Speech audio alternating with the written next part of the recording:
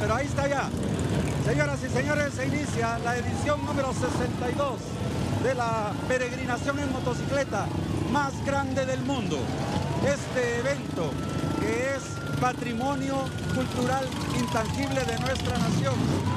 Este evento que acumula a más de 70 mil motocicletas que hoy viajan, no solamente de la capital, porque hay muchos que se unen en el camino, hay gente que viene de otras naciones, hay gente de Ecuador, de España, de Italia, de México, como lo ven ustedes ahora, hay gente canadiense, hay un grupo de salvadoreños que viajan desde la capital del Salvador para venirse hacia acá, en donde pernoctan en la casa de los raiders, eh, de los bikers guatemaltecos, se les da el hospedaje y la alimentación.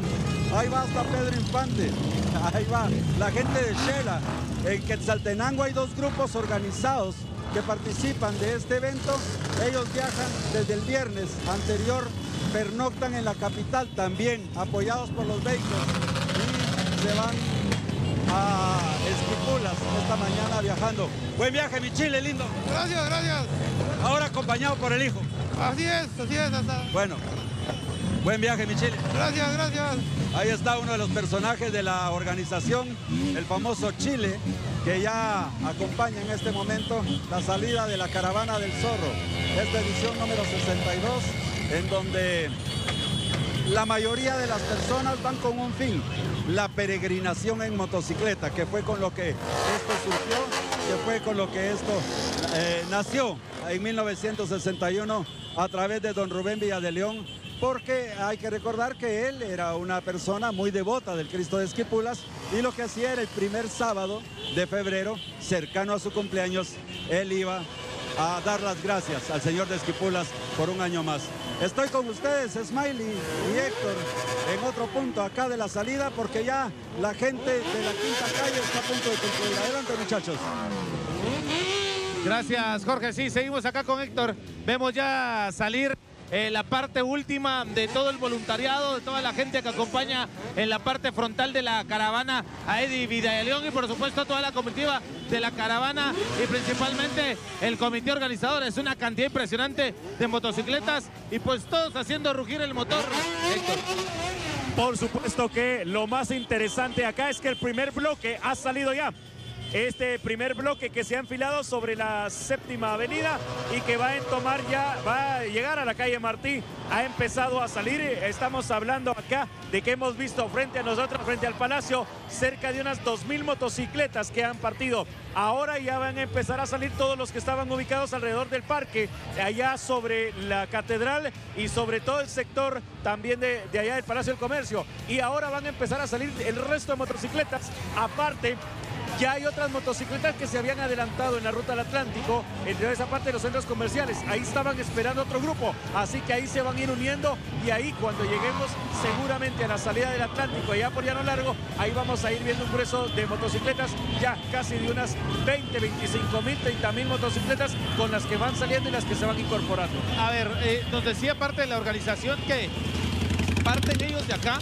que sale el grupo organizador Eddie Villadelión y toda su gente y van camino hacia mm, donde se encuentra la salida, en donde está el puente Eric Barrondo. Ahí es, real, ahí es en donde sale eh, directamente este primer grupo, se detienen, mientras que los que van de parte del voluntariado lo que hacen es detener un momento a esta caravana, que ya se abrió también eh, el sector de la séptima avenida para que empiecen a avanzar, para que empiecen a, abandonar eh, el sector de la plaza central y principalmente acá eh, frente a la Catedral Metropolitana, a un costado del Palacio Nacional de la Cultura, y ya todos empiezan a andar. Es decir, en este momento empieza la salida del gran grueso de motociclistas que estaremos viendo a lo largo del recorrido durante toda la ruta del Atlántico, durante toda la ruta Jacobo Ardens Guzmán, que es en donde estarán eh, viendo ustedes motocicletas de todo tipo.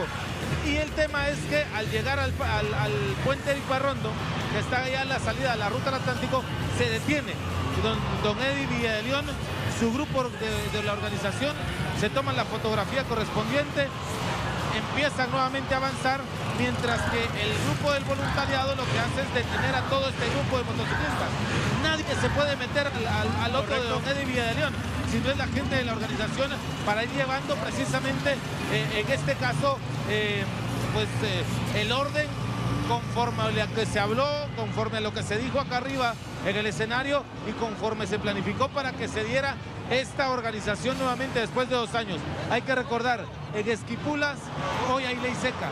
Sí. Para evitar cualquier tipo de situación, conflicto, alguna situación que pueda pasar. Es ley seca y principalmente lo hacen para que todos lleguen con bien, disfruten y para que puedan tener directamente la, la opción de poder celebrar y poder estar todo sector allá con tranquilidad. Queda más entonces que tener la precaución del caso de los que van en eh, compañía de las motocicletas y también para quienes eh, van eh, saliendo y quienes se van a incorporar en toda la ruta. Ya lo decía Miley, así prácticamente en el parque, allá en el puente Eric Barrondo, en ese sector en donde está también el paso del nivel y toda esa parte norte de la capital, ahí es donde se va a hacer pues obviamente el momento de detención para todo el grueso de motocicletas. Vamos a hacer una pausa, ya regresamos.